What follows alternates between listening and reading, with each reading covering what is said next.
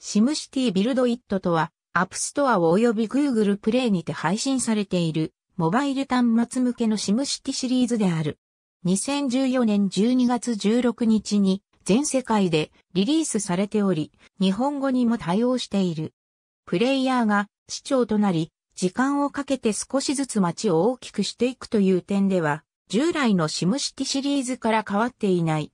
しかし、本作ではより、スマートフォン向けのゲームアプリとして大幅にシステムが改変された。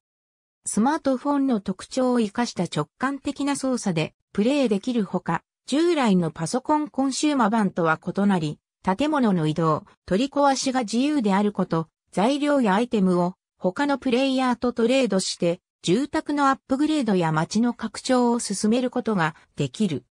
また、基本プレイは無料だが、有料のゲーム内通貨、シムキャッシュ購入することで、アイテム生産時間の短縮によるプレイの効率化、土地拡張アイテムなどの特別なアイテムを時間を待たずに入手できる。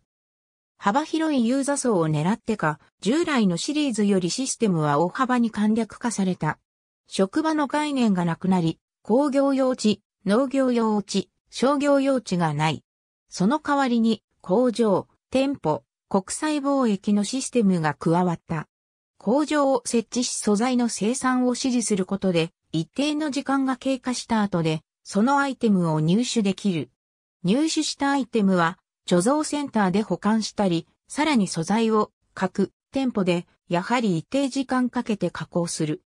これらは各住宅地区やエピックビルの建設及びアップグレードに利用されるほか、生産したアイテムを国際貿易センターや鳩場、空港から輸送することで特別アイテムの入手やゲーム内通貨、シムオリオンの獲得にも役立てることができる。なお、これら店舗は住宅の近くに設置することで住民の評価を少し上げることができる。また、最初の生産で必要な工場は人口15万人に達した時建設できるナノテク工場を除き一定範囲に公害が発生する。これらは職場という扱いではなく住宅からどれだけ離れていようとたとえ住宅と道路がつながっておらずとも全く影響なく機能する。また、誰でも一定の人口に達すると貿易センターを利用でき、世界中の市長が出品したアイテムを買ったり、自分が出品したりすることが可能。素材を量産し続けて売っても良いし、加工に専念して、付加価値のついたアイテムを売却することもできる。従来のシムシティにおける RCI のうち C と I をプレイヤーの操作に委ねる形のシステム改変とも言える。都市内の住宅、工場、店舗などを結ぶなくてはならない存在。また、ライフラインの目的を持っており、電気、下水、医療などの公共インフラは道路を通して機能しており、道路に面していなければ機能しない。ゲーム開始時から建設できる一般の住宅施設。建設するには指示されたアイテムを集める必要があり、アップグレードを続ければ、大人数を収容できる高層住宅にもなる。人口を維持するには、各種の公共サービスを充実させる必要がある。また、これ以外にも様々な住宅地区が存在する。旧市街の家ラテンアメリカの家オメガ、住宅地区ゲームが進み、レベルを上げていくと解禁される地区。建設とアップグレードには工場や店舗で手に入る通常のアイテムに加えて、オメガ研究施設、オメガ研究センターから手に入る特別なアイテムが必要になる。また、オメガアイテムは、ネオモールでも入手できる。ただし、オメガ住宅地区の維持には、一般の住宅地区よりも多く、電気、水道、下水、ゴミの処理能力を必要とし、なおかつ他の地区とは異なり、消防、警察、病院は必要なく、代わりのサービスとしてドローンが必要となり、サービスが維持できないと他の地区と同じくシムがいなくなり、廃墟となる。パリ地区ロンドンタウン地区東京タウン地区電線、上水道、下水道、ゴミ処理の要素はすべて道路が受け持つ。主要な建造物は一辺が道路に接している必要がある。消防、警察、病院は高架範囲内であっても道路がつながっていない。住宅には機能しない。曲線道路は設置できずマス目に応じた道路となっている。道路以外の交通機関はなくなったが、通常の道路をアップグレードすることで他車線道路や路面電車併設道路が建設できる。交通機関関連設備としてバスターミナル、気球公園、飛行船格納庫、ヘリポートを建設できる。これらには渋滞抑制効果はないが、人口増加や気球や飛行船が街を飛んだりする。学校を建設できるが教育レベルの概念はなく、周辺人口増加という効果のみが発生する。電力、水道、下水、ゴミ処理施設にはそれぞれ能力値が設定されており、それを超える規模の住宅を建造すると、その住宅は廃墟となり、人口は増えない。また、消防、警察、医療施設には効果範囲が設定されており、その範囲以外に住宅を建造しても同様に廃墟となり、人口は増えない。税率の設定がなくなり、市民により良い公共サービスを提供すると上昇する。満足度がその役目を果たす。公共サービスは、消防、警察、医療、電力、水道、下水、ゴミ処理、公園。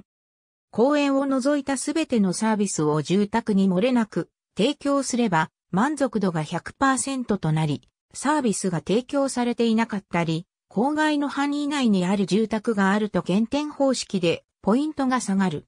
なお、教育等の特化施設は満足度に影響しない。住宅から市民の声を示す吹き出しアイコンが現れ、これをタップすると市民の要望もしくは市への感想などを聞くことができる。この時低い確率で特別なアイテムが手に入る。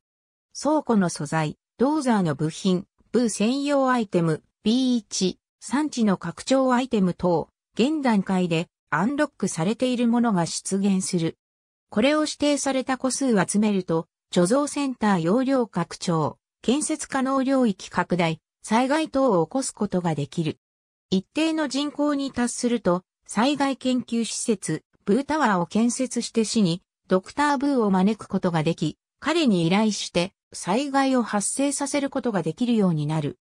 ランダムで指定されたブー専用アイテムを消費して災害を起こすと住宅が倒壊し、ブーポイントが獲得できる。ランダムで指定された素材を倒壊した住宅に投入すると建物が復旧して特別な建築素材である黄金の鍵を入手できる。災害の種類は隕石、地震、エイリアン、竜巻、雷嵐、ロボット。最初は隕石だけだか、ブーポイントを貯めて、ブータワーをレベルアップすると、災害のレベルが上がったり、新たな災害をアンロックすることができる。災害の種類やレベルによって、倒壊数や鍵の入手数、復旧のアイテム難易度、獲得ポイントが変わる。一定人口に達すると、空港がアンロックされ、同時にパリ地区がアンロックされる。外観がパリ風の家屋やビルが建つ。建築には空港で輸送を完了することによって手に入る特別アイテムが必要。一定の人口に達すると東京タウン地区がアンロックされる。これは従来の高密度住宅に相当するもので外観が日本風の家屋やビルが建つ。建築には空港で手に入る特別アイテムが必要。東京タウン地区は人口が通常の住宅の120%に増加するが、電力、水道、下水、ゴミの処理能力を2倍必要とする。